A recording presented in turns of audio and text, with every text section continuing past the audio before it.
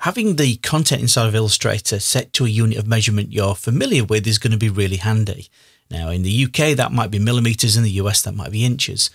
But that will then dictate how Illustrator measures the width and height or the distance between elements. The units for stroke, which is the border around an element, and your type are measured in points. Now, that tends to be a standard measurement globally. I would suggest leaving that as is. And for reference, one point is the same in measurement as one pixel.